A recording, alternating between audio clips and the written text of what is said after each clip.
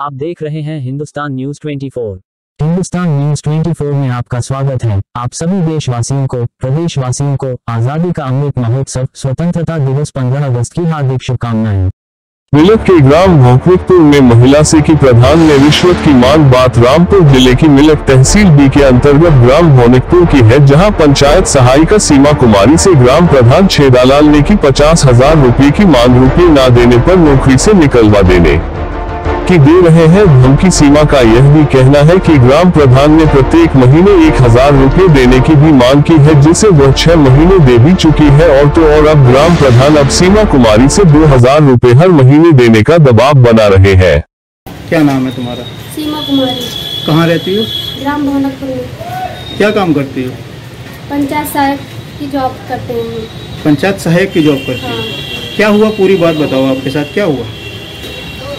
Sir जब हमारा selection हो गया था जी।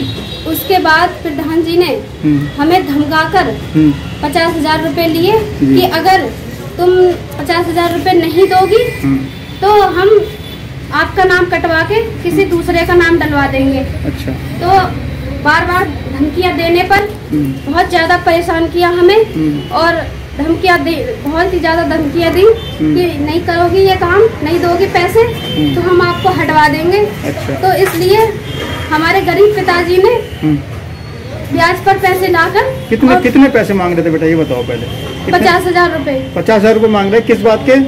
कि अगर तुम पचास हज़ार रूपए दोगी तभी हम तुम्हें नौकरी पर रखेंगे अन्यथा हम किसी दूसरे का सिलेक्शन करवा देंगे। अच्छा। और। जबकि हमारा चयन हो गया था। तुम्हारा चयन हो गया था तुम्हारा वहाँ पे नाम आ गया था हाँ, ब्लॉक हाँ, में। अच्छा हाँ। फिर क्या हुआ?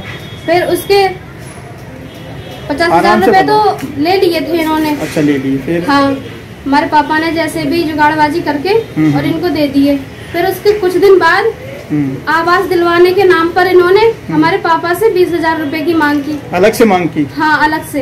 अच्छा। तो उस दिन भी हमारे पापा ने बीस हज़ार रूपए भी इनको दे दिए अच्छा। कि इन्होंने ये ये कहकर लिए वो पैसे कि अगर आप बीस हज़ार रूपए दोगे तभी आवा, आवास आपको मिलेगा हम्म, हम्म, और ये पैसा ऊपर अधिकारियों को दिया जाएगा। अच्छा। अगर नहीं दोगे तो आवास नहीं दिलवाएँगे हम। अच्छा अच्छा। फिर उसके कुछ दिन बाद इन्होंने हमसे कहा कि अगर तुम अपनी सैलरी में से प्रति माह एक हज़ार रूपए दोगी तभी हम आपको नौकरी करने देंगे। हम्म। अन्यथा अब भी हम तुम्हें हटा सकते हैं। तो तुमने तुम्हारी सैलरी आई बाद में?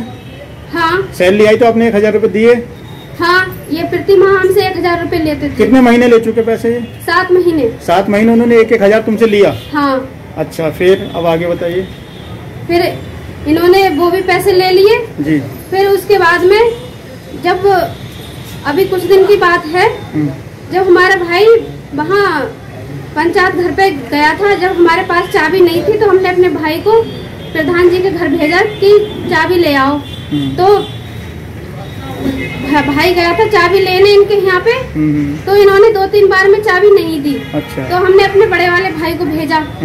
हमने कहा उन्हें तो नहीं दिए आप जा करके चाबी ले आओ। अच्छा।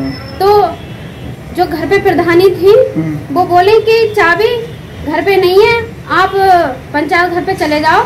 वहाँ पे हमारे भांजे हैं उनके पास ही है चाबी। अच्छा।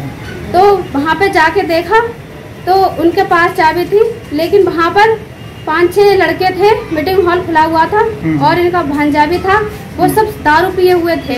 अच्छा।